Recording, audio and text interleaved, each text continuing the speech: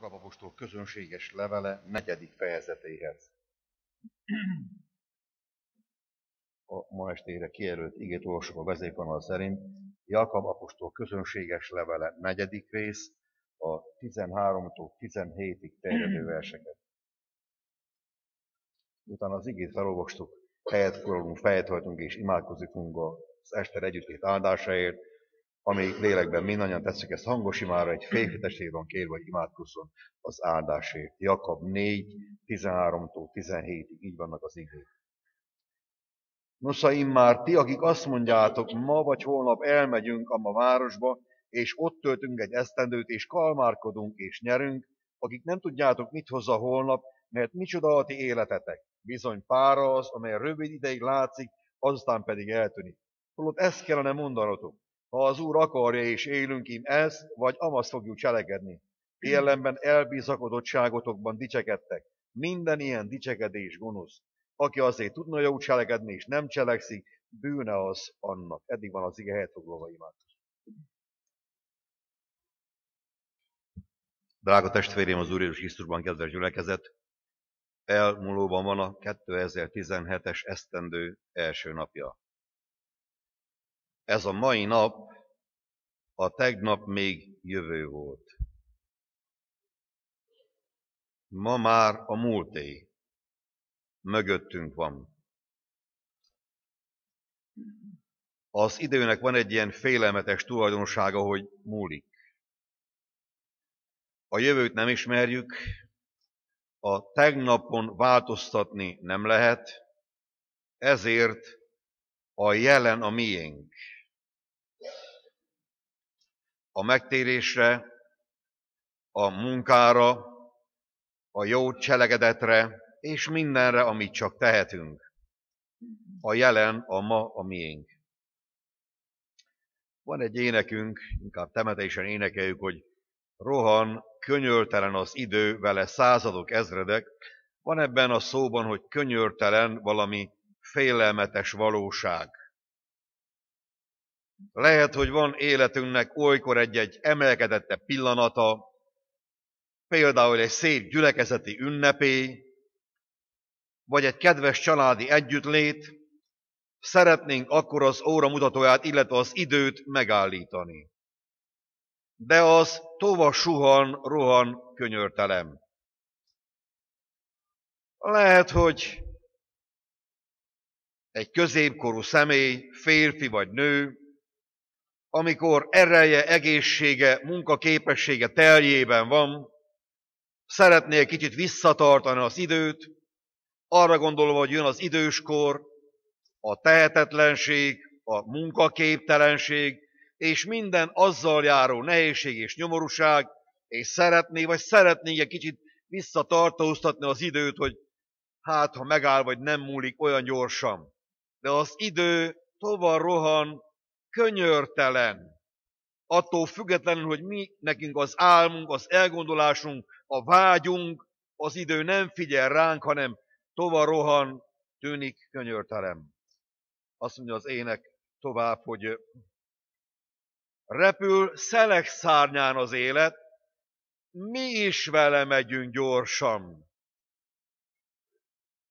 És a gyermek, amelyik a, tegnap még a jövőt látta maga előtt, csak azon vesz észre, hogy már felnőtt, már eltűnőben a középkor, már hajlott korba jutott, és egyszer csak elrohant, elsuhant, eliramlott az élet, ahogy egyik költőnk mondja. Jó, ha esztendő fordultál máskor is, de ilyenkor különösen gondolunk arra, hogy ilyen a mi földi életünk gyorsan, nagyon hamar tova tűnik. Vannak életünknek bizonyos megállója, amikor előre gondolunk. Tervezgetünk. Tulajdonképpen a terv, a tervezés egy elgondolás. Egy jövőbeli cselekvést, annak idejét és módját határozza meg, amit szeretnénk tenni. Egy gyermek, amikor felnövőben van, a szülőkkel együtt tervezget, hogy milyen pályát válasszon. Aztán a fiatal a házasságra gondol. aztán talán arra, hogy egy családi otthont, hajlékot épít. És lehetne tovább sorolni, hogy minden kornak megvan a maga elgondolása, terve, ahogy valamit elgondolunk. És ez önmagában véve nem rossz. Úgy gondolom ennek az ellenkezője, amikor valaki sohasem gondolja meg, hogy mi is az, amit tennie kellene, mi az, ami soron van, és mondjuk, hogy délelőtt 10 órakor még nem tudja, hogy mit akar dolgozni aznap. Biztos nem halad annyira, mint aki neki fog már 7 órakor a munkának, ugye? Nincs baj önmagában a tervezéssel, elgondolással a jövőt illetően. Van itt azonban egy felszólítás, hogy az Úrban tervezett jövő, vagy mondhatjuk az Úrral tervezett jövő. Amikor Isten látását, akaratát vesszük figyelembe terveinket illetően. Jakab apostoltól olvastuk a levelet, hát van több Jakab az új szövetségben, még kettőnek a neve a levél íróján kívül nagyon ismerős a Zebedeus testvérek egyike, a János testvére, akit ekkorra már megöletett Heródes fegyverrel, aki majd a maga sorában férgektől emésztetve nagy kínok között meghal. Aztán ott van a fiatalabbi, kisebbik Jakab, az Alpeus fia a tizenkettő közül. Nem is róla van szó, hanem az Úr Jézusnak volt egy atyafia, Jakab, aki nem hitt benne korábban, de az Úr Jézus feltámadása után hitt ő is. Hitte, hogy az Úr Jézus Isten fia volt, a megígért mesiás, és mint ilyen, a Jeruzsálemi gyülekezet elöljáró is egy nagyon osztopos tagja lett, így nevezi őt később majd Pálapostól, akik osztopú tekintettek. Ő írt egy bibliai könyvet, a Jakab levelét, és jellemző rá, hogy nagyon gyakorlati módon közelíti meg az élet dolgait és nagyon szókimondó. Egyenesen beszél, ahogy szokták mondani, és ír. És ő ír erről a tervezésről is. Hadd mondjam azt még testvéreim, hogy Bibliában olvasunk emberi tervekről, és talán a leghírhettebb a bábeli nagy építkezés, amikor az bukott emberiség a legnagyobb projektjét akarta véghez vinni.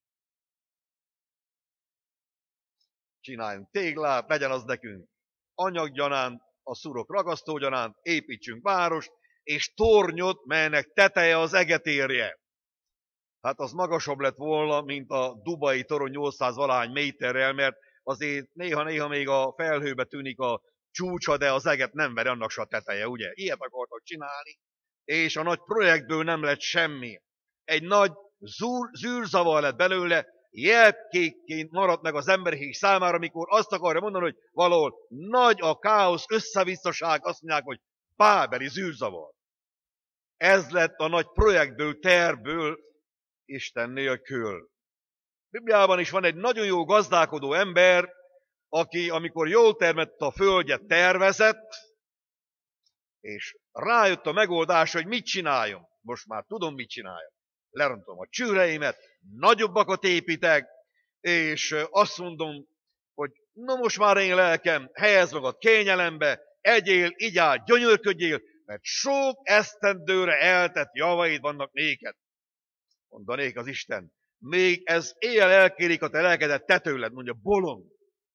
Amit gyűjtöttél, kié lesznek.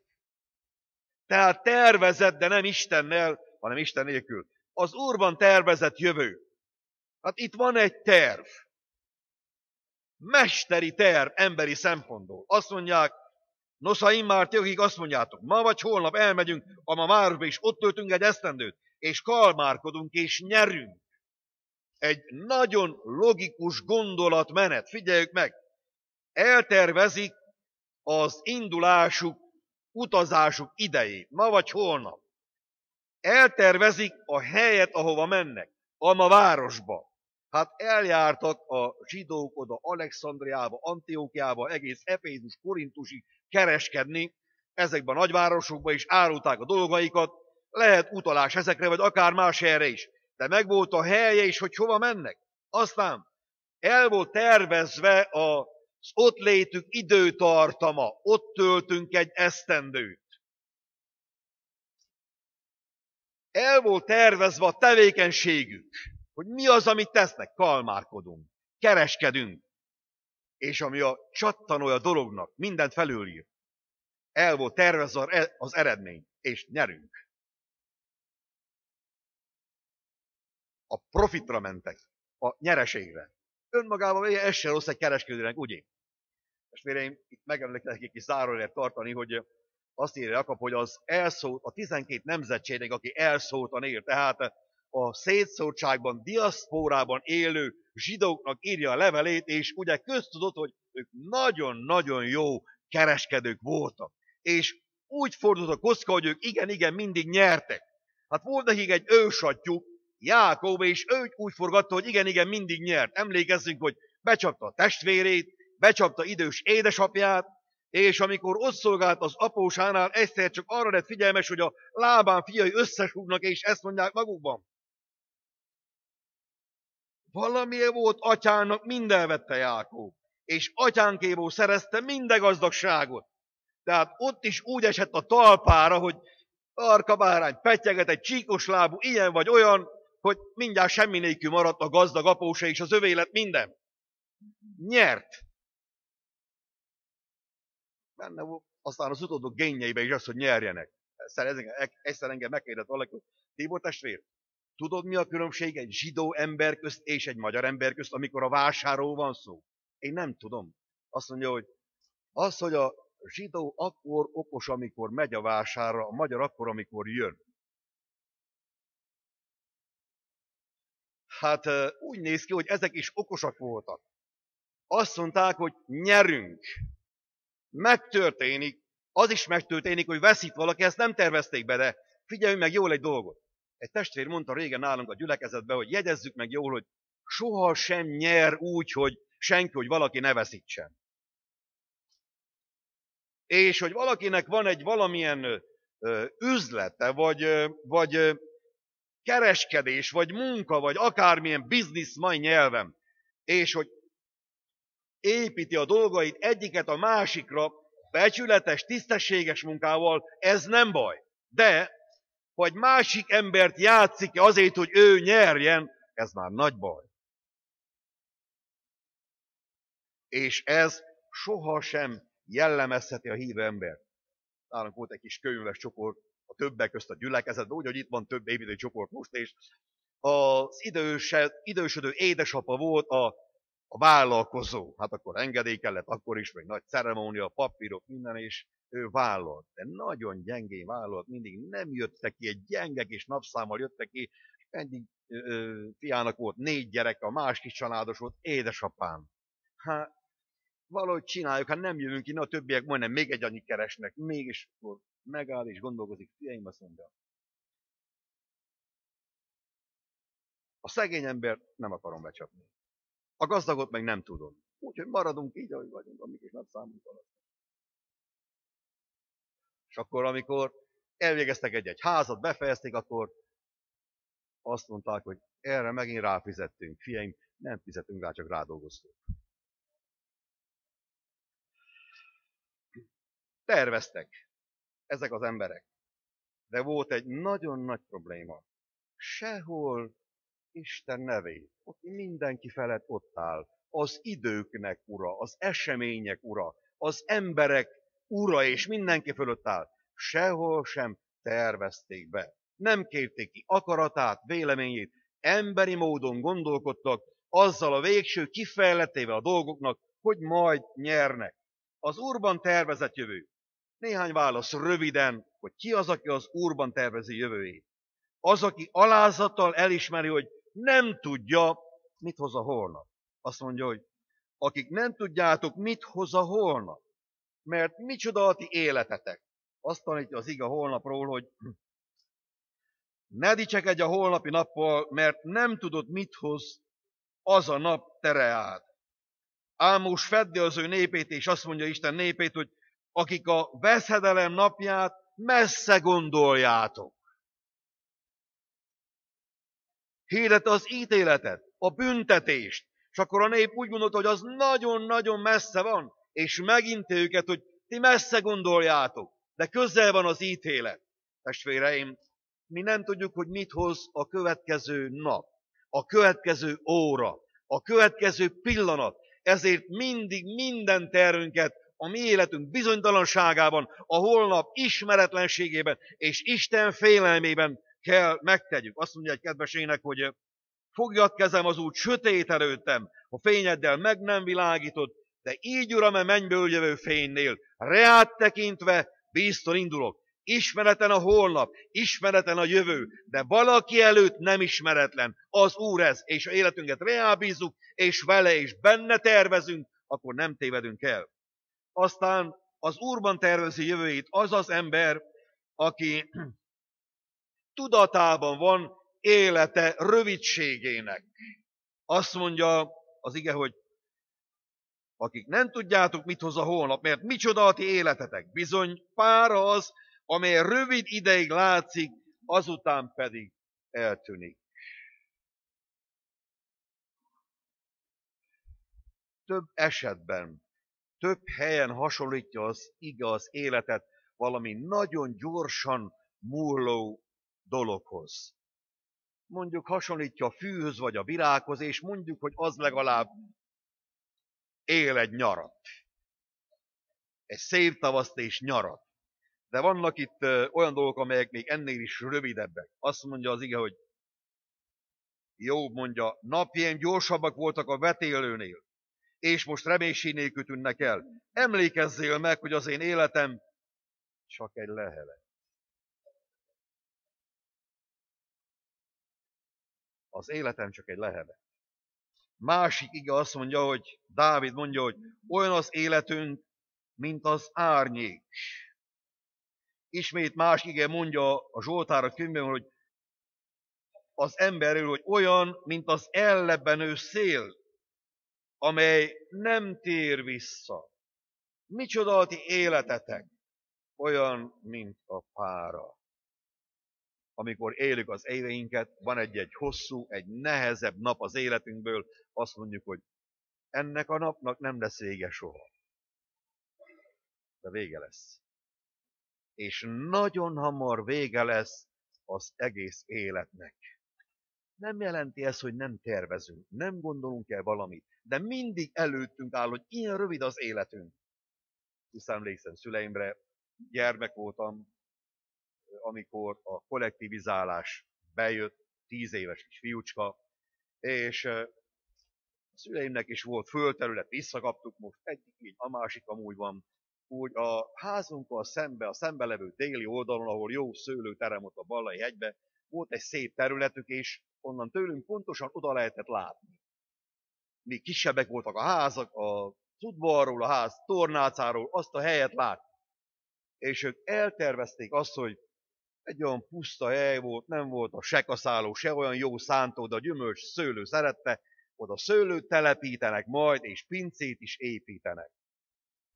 A helyet elvették. Amikor visszaadták, már meg voltak öregedve. Többször elmondták, hogy arra fele néztek, hogy milyen tervük volt neki. És majd azt mondja édesanyám, de egy dolgot nem vettünk figyelembe, hogy ahelyett a, te, a között a terület között és a mi házunk között, ugyanabban az oldalba, Rákóczi oldalnak írták, ott van köztünk a temető. És lehet, hogy mielőtt a szőlő oda lenne telepítve, és az gyümölcsöt teremne, és megépülne a pince, azelőtt mi már a temetőbe fogunk kikötni. Úgy történt. Azt nem számítottuk be. És megfogott engem ez a dolog, hogy ahogy telt múlt az idő, neki oda ötlött ez a gondolat, hogy állj meg vándor egy szóra. Be kell kalkulálni a nagy tervek közé, hogy ott van közte a temető is, és vajon csak azt tudjuk megvalósítni, vagy hamarabb a temetőbe érkezünk. Évekkel azután Cserepka testvér arra járt, szüleim ugyan éltek még, és mutatja a feleségének, látod, drágám, azt a Rákóczi oldalt. Igen, mi van vele? Ott van a gyülekezet temetője. Az én gyülekezetem nagyobbik része már ott van. Micsoda a ti életetek? Pára, amely rövid ideig látszik, aztán eltűnik. És rövid, ha 90 esztendő akkor is. Tovasú van, mint a repülnénk, mondja az igen. Aztán az Úrban tervezi jövőjét az, aki Isten akarata szerint tervez. Azt mondja az ige, hogy holott ezt kellene mondanotok. Ha az Úr akarja és élünk, én ezt vagy amazt fogjuk cselekedni. Van egy olyan mondás a mindennapi életben is, hogy ember tervez tovább, hogy van? Ezt kellene mondanatok. Az Úr akarja és élünk. Régebben, amikor a testvérek egyik helyről a másikra mentek, utaznak vagy gyülekezetbe, akkor mindig hozzátették, ha az Úr akarándja volt már egy ilyen a bizonyságtételben, a régies kifejezéssel, és élünk, akkor ide vagy, amoda vagy, amoda szeretnénk menni. Testvéreim, ez lehet egy olyan megszokott, egy olyan rutinos mondás, de ne legyen az. Hanem tudjuk mindig azt, hogy csak az valósítható meg, hogy az Úr nekünk megenged. Ha az Úr akar és élünk, és mi akármilyen nagy tervet készíthetünk, az Úr azt áthúzhatja azonnal, mert tulajdonképpen ő az, aki végez. Hát mi az ő akarata? Két-három gondolatban. Azt mondja, hogy keressétek először Isten országát és annak igazságát. Esztendő kezdete van. Tudunk egy ilyen tervet készíteni, testvérek? Hogy a fontossági sorrendben, életünkben Isten országa lesz. Eltervezzük, hogy előveszünk minden nap a Bibliánkat, eltervezzük, hogy imádkozunk az Úrhoz ö, szüntelen, eltervezzük, hogy nem hagyunk egy összveteli alkalmat sem a gyülekezetből, akármilyen szorgos az esztendő, az idő és a munka, meg a szezon. Eltervezzük, hogyha az Úr elénk hoz lehetőséget jó cselekvése, mert mondja az ige, hogy ha valaki cselekedett a jót és nem teszi bűne azonnak, akkor azt megtesszük, és az Úr mindenben segítségül lesz nekünk, és áldását adja reá. Aztán Isten akarat szerinti tervezés az is, hogy eltervezzük azt, hogy mi Istenfélő és megelégedett életet élünk. Pálapostól ír erről Timóteusnak, és a következőt írja. De valóban nagy nyereség az Isten félelem megelégedéssel, mert semmit sem osztunk a világra, világos, hogy ki sem vihetünk semmit. De ha van élelmünk és ruházatunk, elégedjünk meg vele. Aki pedig meg akarnak gazdagodni, kísértetbe, meg törbe, és sok esztelen és káros kívánságba esnek. Meg az embereket veszedelembe és romlásba merítik. Mert minden rossznak gyökere a pénzszerelme, miután sóvárokban némek elterjedtek a hitől, és magukat átolszegezték sok fájdalommal. De te, ó Istennek embere, ezeket kerüld. Lehet ez is terv. Nem a célunk a meggazdagodás, gyűjtés, hanem a megelégedett, istenfélő élet, mert ez nagy nyereség, mondja az apostol. Nagy nyereség. Az is lehet Isten akarata szerint tervezés, hogy mi eltervezzük, hogy Isten akarata szerint élünk a testben hátra levő időt. Van még valamely időnk. Van, akinek kevesebb, van, akinek több. De előttünk állat mindig az, hogy mi az Isten akarata, és megszentelt élettel élünk az ő akarata szerint az Úrban tervezett jövő. Visszatérek az a gondolat, hogy az apostol emlékeztet, hogy életünk rövid és tervezünk az Úrban.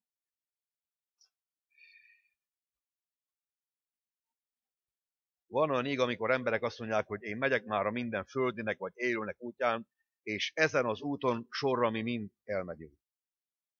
Azt mondják az emberek, és néha sír feliraton is áll, hogy emléke örökké megmarad. Mit gondolnak a testvérek, igaz lehet ez a kijelentés? Őrzik a fiai, az unokái, még egy-két generáció, és az emlék is oda lesz. Azt mondja egy ének az újabb szöveg szerint, hogy más fogja élvezni, mit kezed gyűjtött. Munkád után lehet, majd más arat. Végül a múlt köde téged is elföd, az emléket is. Mit Jézusért teszel, mind megmarad. Az Úrban tervezett jövő. Testvéreim, Isten tervezett nekünk jövőt. Ezen a földön is már boldog jövő, de tervezett egy boldog örök jövőt. Azt mondja az Úr Jézus, hogy és én örök életet adok néki. És senki ki nem ragadhatja őket az én kezemből. Örök jövőt, örök életet tervezett. És ahogy valaki mondta, jó, ha mi terveinket, elgondolásainkat mindig az örökké valóság oldaláról látjuk. Hogy mi az, ami nincs kárára az örökjövőnknek, örök életünknek, hanem hasznára miénknek, és hasznára a másokénak is. Testvéreim, vegyük elő a Bibliánkat sokszor ebben az esztendőben. Keressük benne mi Isten akarata. És annak a fényében tervezzünk, dolgozzunk, és éljünk, hogy a Jóisten megáldja ezen a földön is kezünk munkát, és megáldja örök is. Amen.